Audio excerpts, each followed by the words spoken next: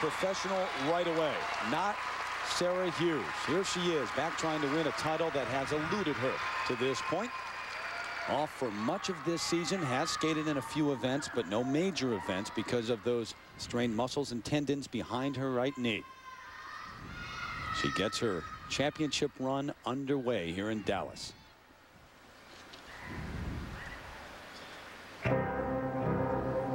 Sarah says, I skate best when people say I can't do something. And here she finds herself in that exact position.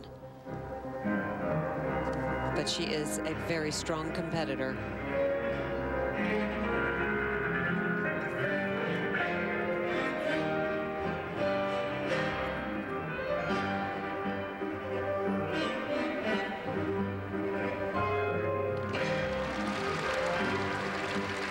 There's a fire to this program that I haven't seen in her very often before.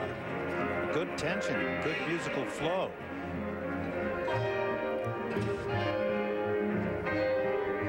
Triple Lutz, double toe combination. A little bit of its missed position on the landing. That was determination that she was going to land that no She- matter what. She fought that, didn't she? She really did.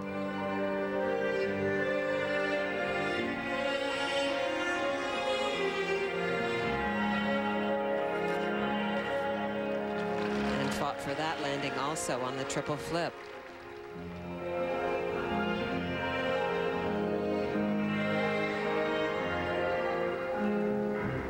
Combination spin, only one change of foot, but multiple changes of positions.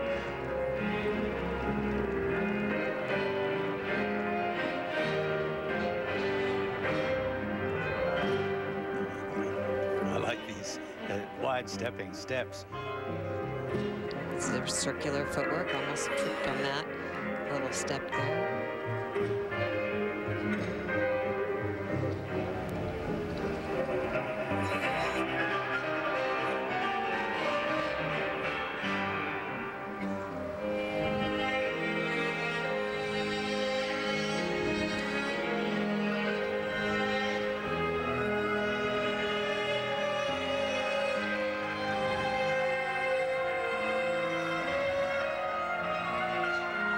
Soft knees.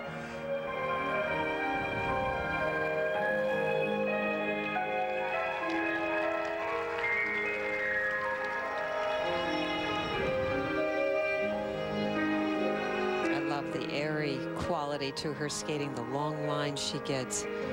Makes everything look bigger than life. This final move, this beautiful layback spin.